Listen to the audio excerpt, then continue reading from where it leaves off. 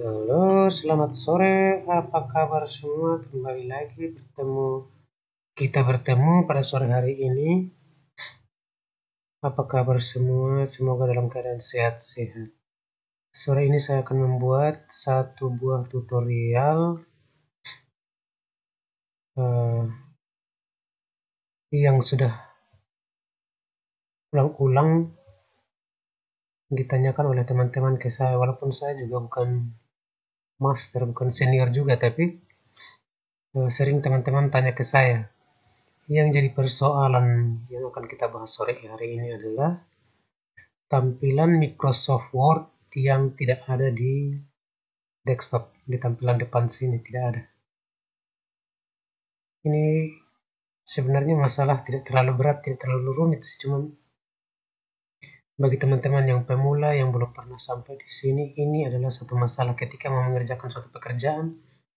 Jadi pusing, kok mau dari mana memulai memulainya, mau mengetiknya dari mana, tampilan Word tidak ada.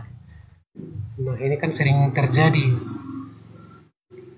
Biasanya tidak secara sengaja terhapus dari tampilan depan dari desktopnya ini terhapus Nah, ini bagaimana caranya untuk kita mau mengembalikannya. Bagi teman-teman yang senior, ini adalah hal yang kecil. Bagi kita yang masih awam, ini adalah satu masalah besar. Ketika mau buru-buru mengerjakan pekerjaan, ketika membukanya, mau memulainya dari mana.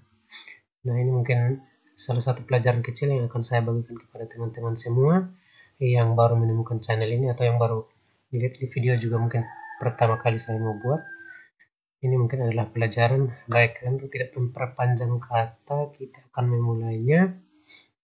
Eh, tapi sebelumnya jangan lupa tekan tombol subscribe like komen dan share sebanyak mungkin. Baik kita akan memulai. Caranya adalah arahkan kursor ke sudut kanan bawah dekat jendela Windowsnya ini ada tempat di sini klik di sini tag sampai muncul bisa ketik di dalam. Muncul begini kita ketikkan di dalam situ word. Ketik word word gini. Nah sudah muncul di atas. Jangan yang ini yang sebelah kanan ini jangan yang kiri ini. Arahkan kursor ke sini lalu klik kanan. Oke. okay. Sudah klik kanan muncul tampilan seperti ini, kita arahkan kursor ke bawah, lalu klik Open File Location. Ini yang diklik. Setelah diklik, maka muncul tampilan daripada isi Microsoft Office. Microsoft Office itu baik dari 2007, 2010, 2013, 16, dan seterusnya update terbaru. Isinya seperti ini semua intinya bahwa Microsoft Word eh, Office itu di dalamnya Word, Excel, PowerPoint dan lain-lain sebagainya. Tapi yang paling lazim dipakai, yang paling umum sampai masyarakat akar rumput yang tahu persis itu adalah cuma tiga ini. Tapi yang paling banyak adalah Word. Tampilan Word ini. Ada Excel juga, ada PowerPoint juga. Itu yang paling banyak dikenal. Baik, ini adalah tampilan daripada Microsoft Word. Sedangkan yang bermasalah adalah ini ini akan kita tampilkan di layar depan desktop ini. Yang kita akan kita tampilkan di sini. Di sini tidak ada. Akan kita tampilkan. Akan kita tampilkan. Nah ini dia. Setelah dapat ini kita klik kanan lagi. Nah muncul jendela seperti ini. Seperti biasanya kita mau copy sesuatu file. Muncul seperti ini kita arahkan kursor lagi ke menu send to jangan diklik arahkan ke sebelah kanan lalu turun ke bawah di desktop create. Created shortcut istilahnya begitulah kira-kira. Tampilkan di desktop desktop. Lalu kita klik di situ. Seret.